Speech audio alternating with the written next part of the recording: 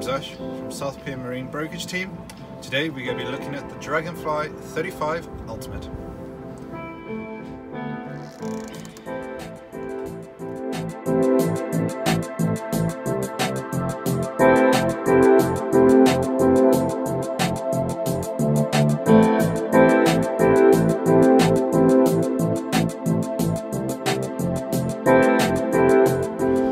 In the cockpit of the Dragonfly 35, we'll start to the port with a uh, manual windlass winch. To starboard is the uh, electronic.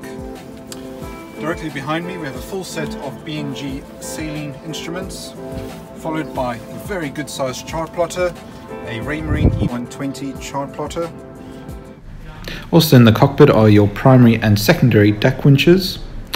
Uh, by the helm you have your main engine controls and your bow thruster with your autopilot.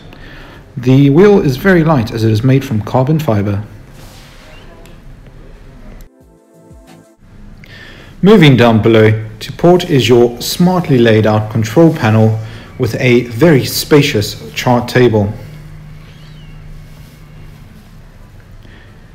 To starboard, beneath the cockpit is a double berth which can also be used for the storage of your sails. To starboard we have a well thought out linear galley with a large stainless steel sink, a three gas ring hob and a gas oven.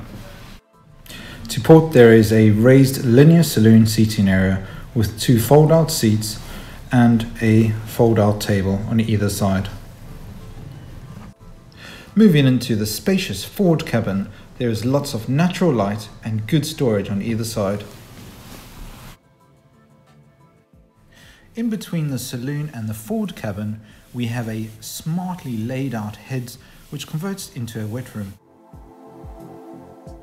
For any more information regarding this vessel, please don't hesitate to contact the friendly team at southpiermarine.com.